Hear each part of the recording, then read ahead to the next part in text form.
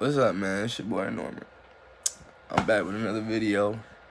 And y'all know from time to time I come and drop these little videos or whatever. The topic I want to speak on right now is my young fellas, uh, men in general. It's never too late. Stop anything. It's never too late. As long as God give you a breath in your body, it is never too late for you to make a change, but it has to be in that moment. Nobody is ever ready. You just do that.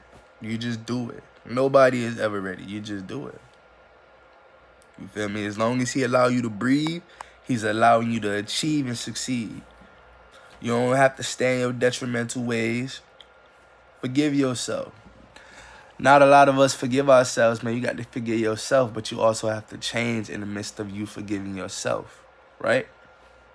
So if you ever too thirsty with women, or if you was ever too too too too passive aggressive, if you was ever too if you was ever too anything, you feel me? Things that's frowned upon. If you was ever too lazy at one point, you feel me?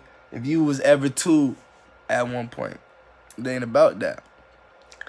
I was just watching a sermon on Instagram the other day, and it says people will judge you your whole life just for one thing they saw, for a minute thing. So if somebody saw you being an alcoholic for 15 minutes, they gonna call you alcoholic for the rest of your life.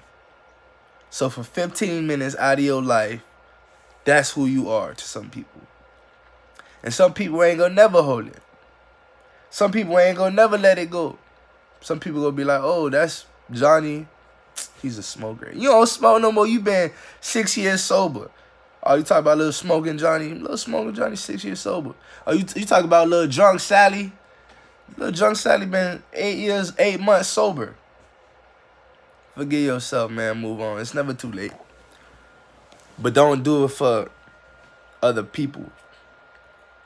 Other people ain't gonna ever get it. You know what I'm saying? People go judge you for five minutes off your life and call you that five years. Something you did for five minutes determines who you are for five years. Something you did for one minute determines who you are for the rest of your life to some people. Some people just that toxic. Some people just that toxic. But yeah, man, you know what I say. Peace, love. And um, we all going through our battles, man. Self-reflection. And just change for the better. All right, man, I'm out of here.